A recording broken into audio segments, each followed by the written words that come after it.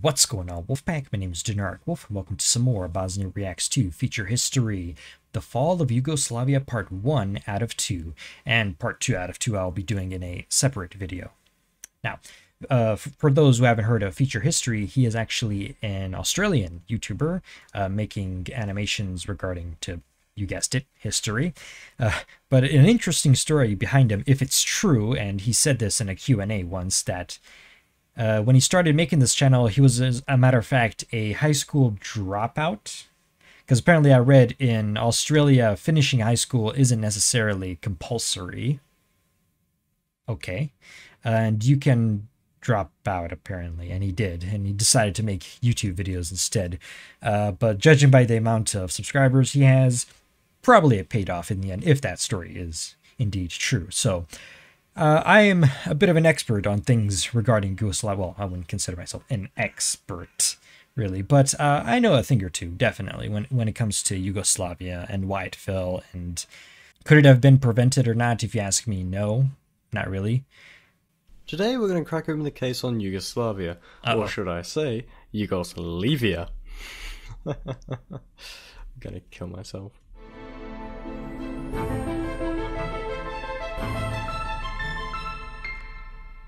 None of his characters have eyes, by the way. It's kind of creepy. Hello and welcome to Feature History, featuring the fall of Yugoslavia and most likely a shitstorm in the comments. Now this video, or videos, are going to be quite long and complicated, so I'm not going to pad this intro out too long, like I'm doing right now. I should really stop. The series of wars that saw the end of Yugoslavia brought a close on an era and opened a new one alongside the dawn of a new millennia. This new era began in an orgy of violence, war crimes, and geopolitics. Great stuff. But first I should bring us back to the old era. And the older era. Maybe even the older era. Get something to eat, this will be a long one. The Balkans, for a measurably long-ass time, has been mm-hmm. an ethnically diverse region in Europe. It served as the border of Western, Eastern, and Islamic worlds. Its long history consists of many independent kingdoms as well as even more empires attempting to conquer the region. The Byzantines, Ottomans, and Austrians all took their shot at the region, but as nationalism took hold in the late 19th century, things were to change. Yugoslavia, a unified. So, uh, if you look at the map of Europe, uh, you'll notice a few things. Notice how, one, uh, a lot of it is flatland area, especially the northern European plain stretching from France to Russia.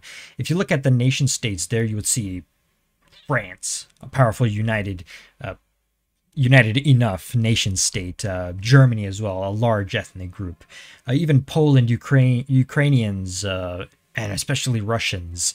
So on flatland areas, it's a lot more, it's a lot easier to unite the ethnicity due in large to the fact that, well, war is, you know, very easy on a flatland, so that really there's nowhere to run and hide on a flatland. So that's how the French ended up uniting uh, what we now know as France, despite the fact that there were there were yeah different people groups, especially in, on the Brittany Peninsula. There was a Celtic people group there. Uh, you had the Gascons to the south the Occitans to the south as well, Savoyards, and eventually it all coalesced into a Frankian culture. Uh, basically, the culture was from Paris because Paris found it easy to unite that area. Same goes for Germans, but same goes for Poles, for Russians. You know, those are wide open flatlands that are easy to unite. Now, the Balkans is uh, one of the most mountainous, hilliest, uh, most rugged areas of all of Europe. And this is why you have so many ethnic groups in such a small area because it's difficult to unite culturally because there's not much communication going on because of those mountains uh, or lack of any uh, serious navigable waterway networks. Um, the exception being the Danube, I guess, and the Sava rivers. But for the most part, it doesn't have as many navigable waterways as other parts of Europe.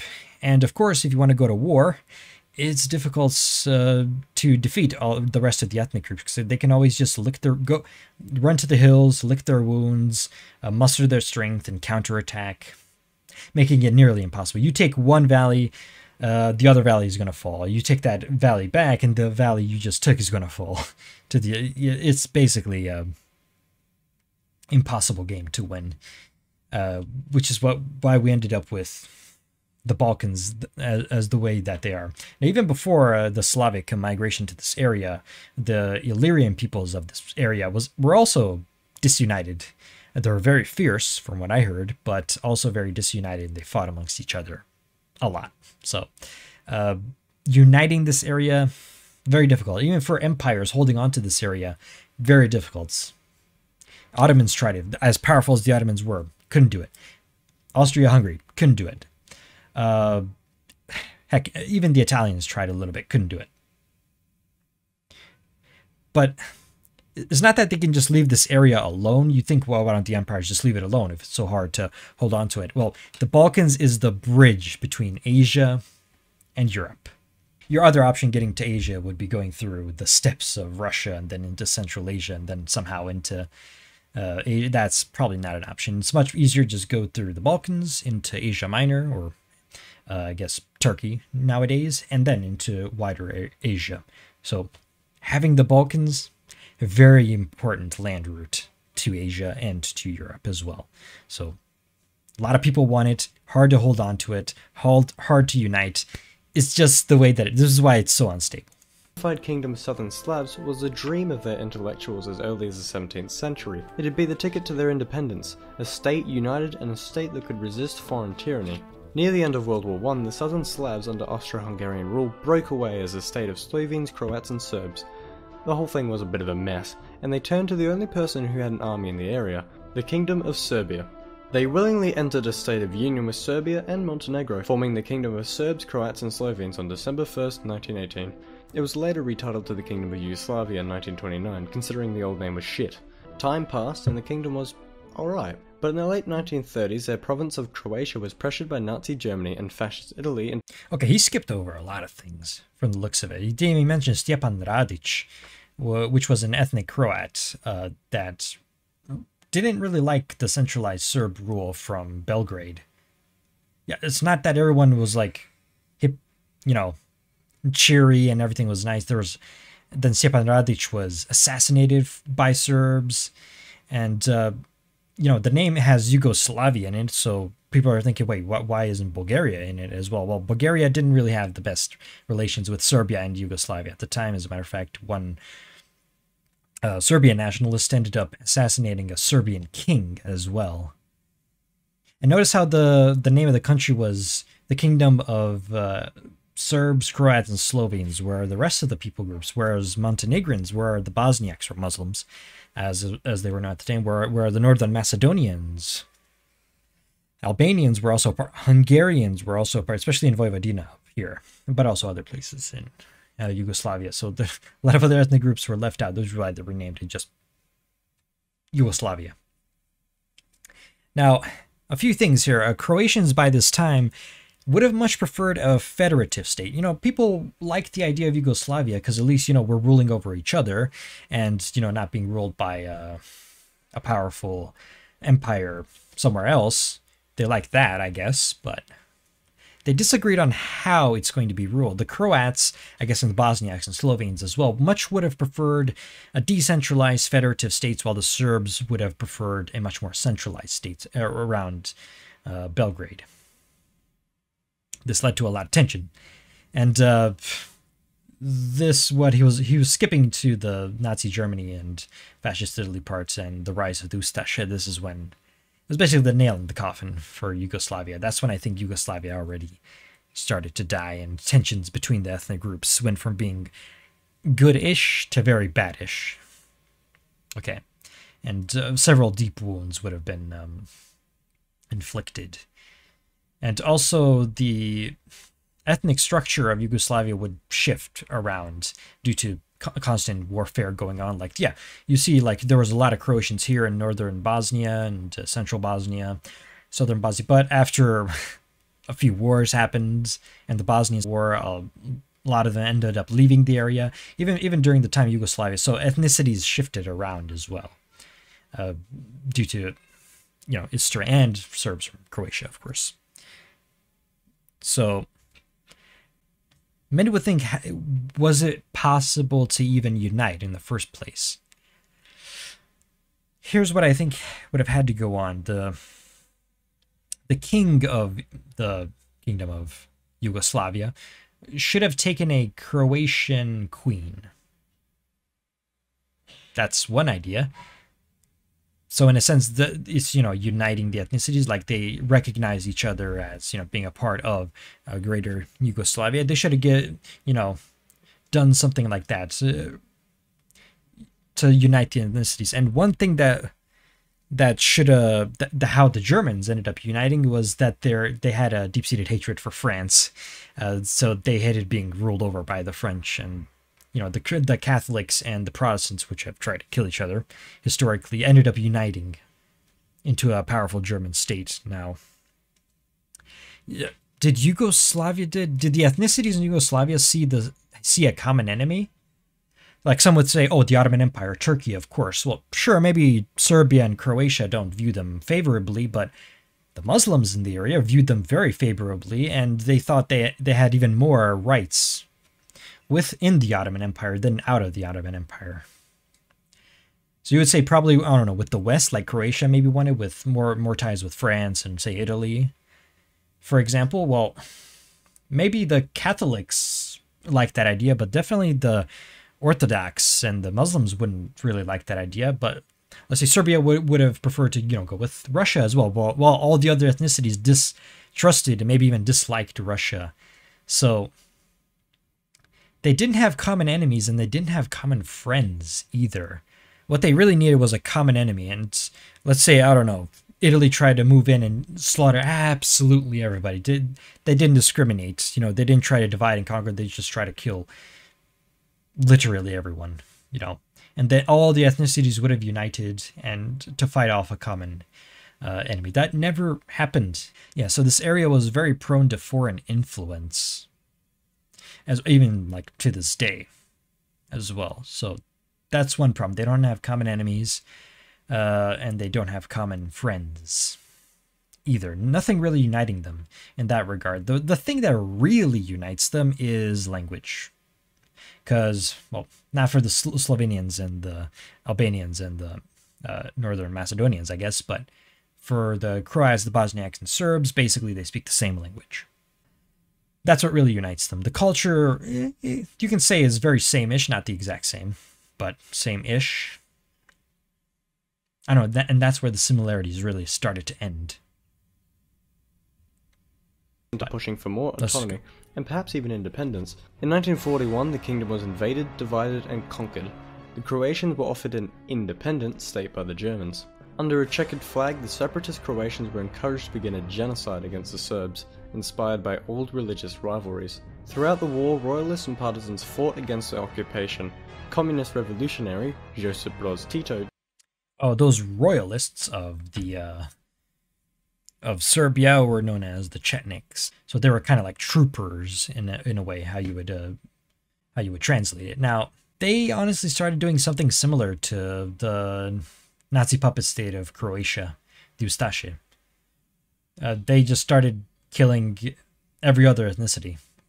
Not all of them, of course, but a lot of them ended up just killing a ton of Muslims, ton of Al ton of Croatians as well. They were doing something similar. They started doing ethnic cleansing as well.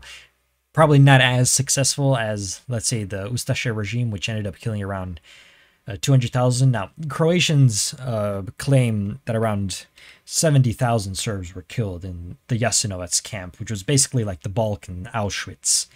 Uh, it can be found just uh, across the border of Bosnia into Croatia, a small town known as Jasenovac which was basically a detention camp for mostly the Serbs, but also of Jews and of Romas, gays as well, and even some dissident Croats and Bosniaks, uh, which they viewed as the pure population of the ind- independent state of Croatia, uh, the Muslims and the Croatians. Even they were slaughtered occasionally in that camp. So uh, the Croats say around 70,000, the Serbs say even up to 600,000. I, I think one is too low, the other one's too high. 200,000, maybe around 150,000 ish is the more realistic range. Because 70,000, that seems a little too little. Uh, and 600,000 is absurd. If there were 600,000 deaths, I don't think there would be would be any Serbs in, in in Croatia and Bosnia at all. If there were that many deaths, no, It just didn't happen. And it's not like they went to every single place. Like the Ustaše regime was surprisingly not active at all in eastern Bosnia. The Chetnik regime was, if anything, more active in eastern Bosnia. Uh, they were active in western Bosnia, like around the town of Bihać, where a lot of Serbs were killed, uh, but not in every single place. Remember, this place is very mountainous, and rule over this area is very nominal. And in some places, you would have even the Handjar division, which was kind of like uh, Muslim Nazis or Muslim Aryans that were aiding the Ustaše, mostly in northeastern uh, Bosnia and some parts of uh, as well, which is like uh, an area in between the Sava and Danube rivers uh, as well. He distinguished himself when he led the partisans to victory. Tito's partisans were devoted to him, and so the former monarch of Yugoslavia was to remain in exile as Tito, with some support from the Soviets, established the Socialist Federal Republic of Yugoslavia in 1945. The country was organized as a federation of six socialist republics Bosnia and Herzegovina, Croatia, Macedonia, Montenegro, Slovenia, and Serbia. In addition, Serbia held the two autonomous states of Kosovo and Vojvodina, and hosted the country's capital of Belgrade. Under Tito, the country was a now, uh, if we go back here for a second, you notice how uh, Yugoslavia, like, where where did this territory come from? We have Istria and we have, you know, Slovenia gaining uh, access to the sea. Well, this was actually part of uh, Trieste, uh, the Italian.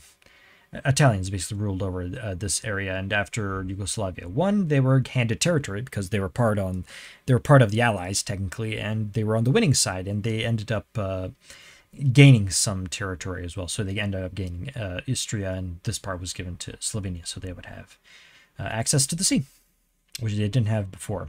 Also, there was also some uh, reshuffling of the borders as well. Like Bosnia actually had not one access to the sea, but two accesses to the sea, I guess this place known as Sutorina, which is now a part of um, Montenegro. It was similar, a similar small panhandle as Neum you would see here.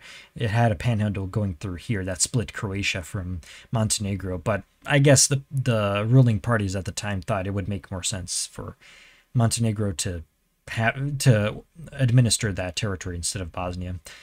Things changed, I guess, and we have what we have Belgrade. here. Under Tito, the country was a dictatorship a one-party state with the president enlightened. It operated on propaganda and doing whatever was necessary to maintain brotherhood and unity. Due to disagreements with Stalin and risking a near war with the Soviets, Yugoslavia became a strange blend of East and West in a time where that wasn't a good idea. It was a great idea though as foreign aid came in from both sides and the country began to liberalise and form a unique brand of socialism known as Titoism. Tito would evoke his former life as a poor farmer and his reputation as a war hero to remain relatable and beloved with the people he reigned over. He was quick to crack down on nationalistic sentiment and so held the country together firmly, but all knew it couldn't last. Tito died on May 4th, 1980, aged 87. That's not to say that nationalism didn't exist at the time, but if you were found to be a national nationalist in the time, they could even send you to the Goli Otok, which basically translates to the barren island, which was a, a barren island off the coast of Croatia, or off the coast of Dalmatia, I guess. Uh, and it was basically the Alcatraz of Yugoslavia, and it was a pretty brutal, pretty nasty place where all the nationalists, not just nationalists, but anybody that was considered an enemy of the state was sent to, and a lot of them ended up dying there. The old man had left the people, and so what was after Tito? Well, Tito. The presidency was decentralized and became collective, made up of representatives and a mostly symbolic president of the presidency. They tried to pretend for almost a decade that Tito was living on. Only when the Cold War ended, the foreign aid ceased and the economy came tumbling down did the people realize Tito was gone. The problems caused people to search for someone to blame. In Kosovo, the blame was put on the Albanians living in the area. Kosovar Serbs claimed Kosovar Albanians were pushing them out of the country and began a counter movement against this. President of Serbia, Ivan Stambolic, decided he would send his right-hand man Slobodan Milosevic to quell the unrest in 87. When he arrived, however, he spoke only what the Kosovar Serbs wanted to hear. He created himself a devoted following. In what was would be called demagogue. the anti-bureaucratic revolution, he used his supporters to force governments in Vojvodina, Montenegro and Kosovo to be replaced with his allies. Eventually, Stambolic was forced to resign in favour of Milosevic in 89. With he and his allies in control of many areas in Yugoslavia, his representative in the presidency, Borisav Jovic, led a voting bloc. The power was used to erode the autonomy of Kosovo and Vojvodina. The Albanian miners of Kosovo collaborated in a strike against this in 89. Milosevic had federal police troops moved in. With this, he could crack down on the Albanians. This kind of action did not sit well with the republics of Croatia and Slovenia. Slovenia's media ran with stories of Milosevic the fascist. Milosevic deemed that this was only spreading unfounded fear of Serbia and attempted to see authorities restrict Slovenia's press, only driving further sentiment that Slovenia must escape Serbia's influence. Milosevic attempted to use his Kosovar Serbs to depose Slovenia's dissident president Milan Kucan. Croatia backed up Slovenia, refusing passage to the protesters. The political stalemate led to the 14th Congress being convened in January 1990. The Congress was attended by delegates from all republics and provinces. The debate was reform, whether to offer more autonomy to the republics of Yugoslavia or to build a stronger state of brotherhood and unity.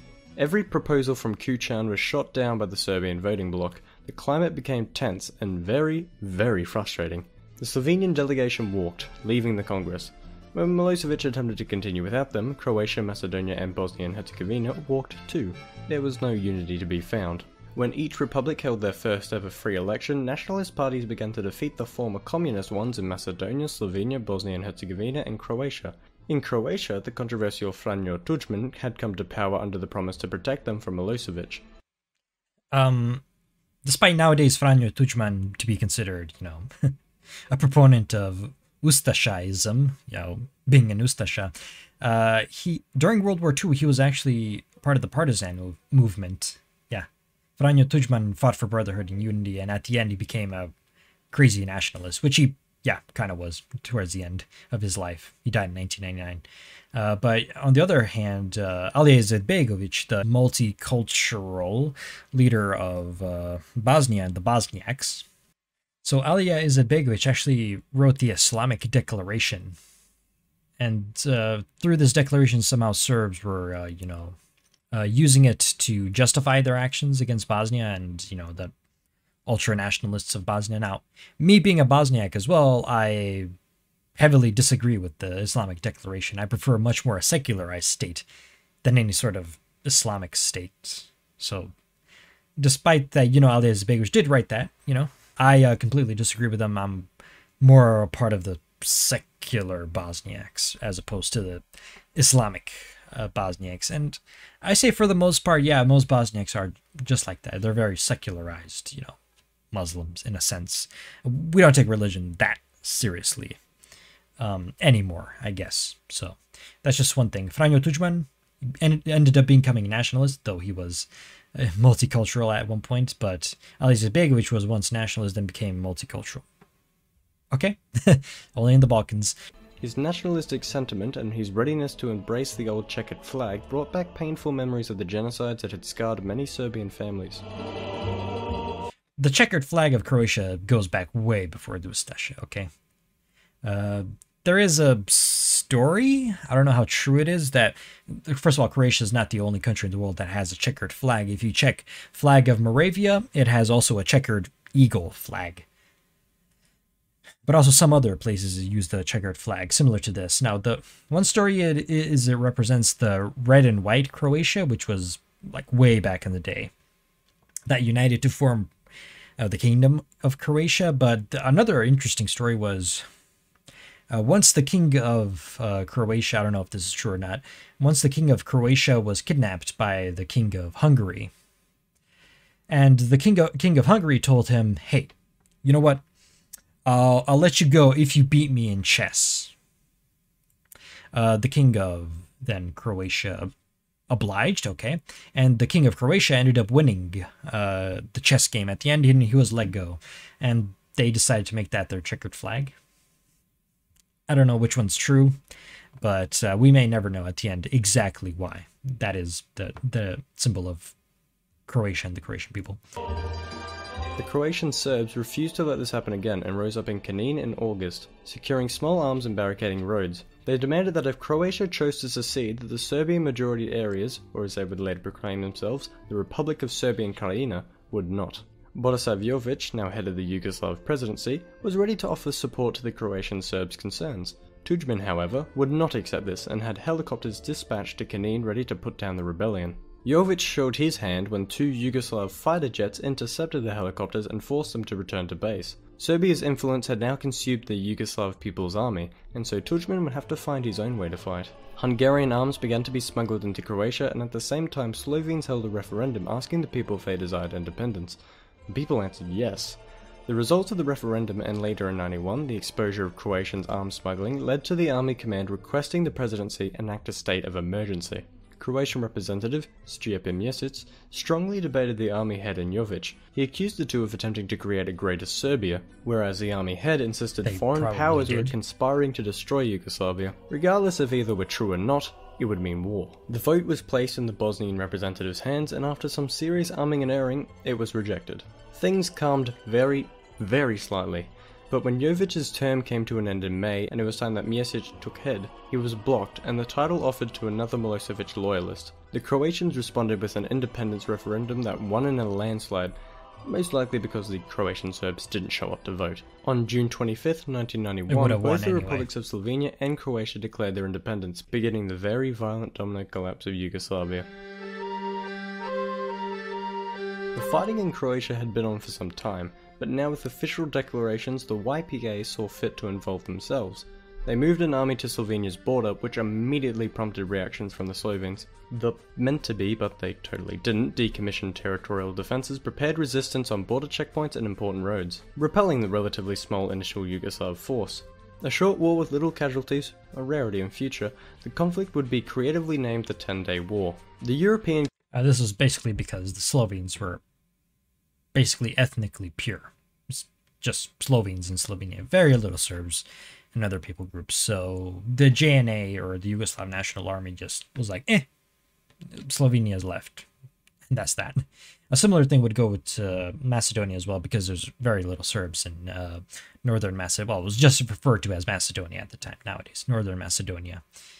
Uh, very little Serbs there. Didn't feel a need, and they just left that area. But anywhere else where there were Serbs, different story. community placed pressure on the belligerents to open negotiations, leading to the Brioni Agreement on July 7, 91. Croatia, Slovenia, and Yugoslavia agreed to withdraw the YPA from Slovenia and allow Slovenia to take control of their borders, given that Croatia and Slovenia suspend their declarations for three months. This three months barely phased the fighters battling in Croatia, but Slovenia used this time to make themselves into a natural country while the YPA prepared an invasion into that country that couldn't fail. The plan was scrapped though on the reason that it's Slovenia who gives a shit.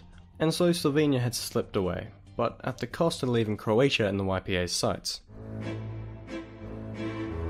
Tudjman's fight stemmed from his insistence that he'd defend every inch of Croatia. In spite of it though, the rebels had made great successes, he did. securing many Serb-majority towns and then some. Yugoslavia offered support as well, giving the rebels equipment and artillery. Later the YPA itself arrived at the border as peacekeepers, peacekeepers that allowed the rebels to push forward and siege Vukovar in August. Things looked fairly bleak in Yugoslavia. So bleak that Macedonia passed a referendum and left. Just like that. That makes everything seem a bit dramatic. The bleakness also caught the attention of The Hague, who arranged a peace conference with all six presidents. Tudjman insisted Croatia had the right to secede. Milosevic countered that then Krajina should too. Lord Carrington, head of the conference, asked if Milosevic would be prepared to accept Croatian independence if it was subject to the human rights of Serbs living outside of Serbia. Milosevic answered yes. When the written deal arrived, though, it stated that all six republics would take this route. Milosevic could not agree. He had no intentions of breaking up Yugoslavia. By November, Vukovar fell, and those who had resisted were subject to massacre. By the dawn of 1992, a UN ceasefire would put a pause to the pain. However, another conflict had been brewing alongside the Battle of Vukovar. Uh-oh. Yep, that's enough of that. Okay, so that was part one, and I'll be recording part two just right after this, and it should be up in a few days after you're seeing this. So I'll end it off here. Thank you all for watching, and as always, take care.